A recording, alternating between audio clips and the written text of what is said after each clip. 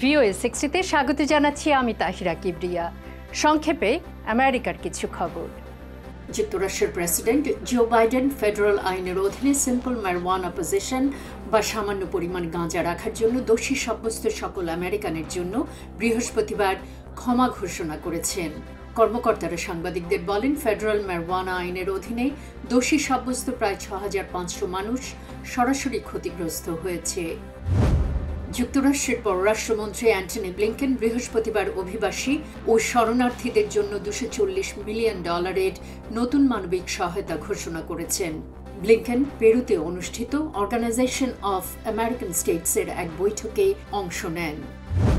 California, Oregon, Washington এবং British কলম্বিয়ার নেতারা গ্রিনহাউস গ্যাস নির্গমন কমাতে একজোটে কাজ করার জন্য বৃহস্পতিবার একটি চুক্তি স্বাক্ষর করেছেন।